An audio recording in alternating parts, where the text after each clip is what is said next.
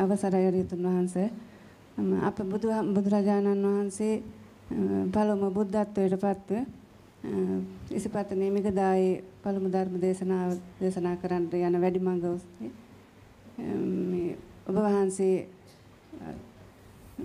පැහැදිලි කරා මේ වාහල්කඩ ඒ යාන් ඔය සීමා වාහල්කඩ වැව්ගල් තලාවේ එතන ඒ අතරමැද තියෙනවා මේ ස්වාමීන් වහන්සේ මේ සිරිපතුලක්.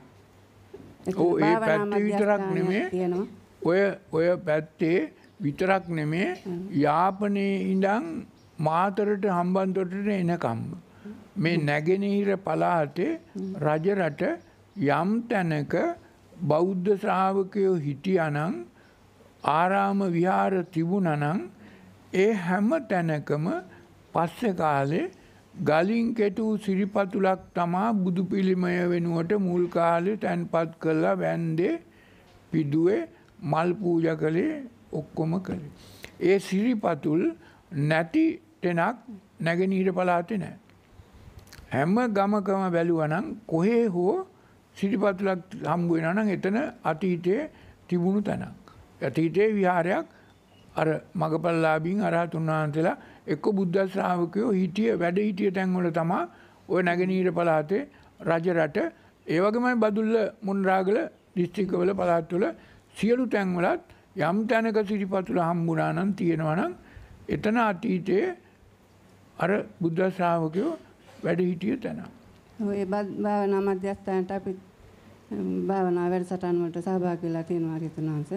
එතන ලොකු මේ සිරිපතුලත් එතන වැඳුම් පිදුම් කරනවා එතන. ඒක තමයි දැනගන්න. ඔයවත් ඒ සිරිපතුල් තිබුණේ ඉස්සර බුදුහාමුදුරුවෝ බුද්ධත්වයට පත් වෙලා ජීවමාන කාලෙමයි සිරිපතුල වන්දනා කිරීම පටන් ගත්තේ. බුදුහාමුදුරුව පිරිනාන් පාල අවුරුදු හයසිය අසුවක් හෝ හත්සීයක් යනකං බුදු පිළිමයක් ලංකාවේ හැදුවේ නෑ. කොහෙවත් තිබුණේ නෑ.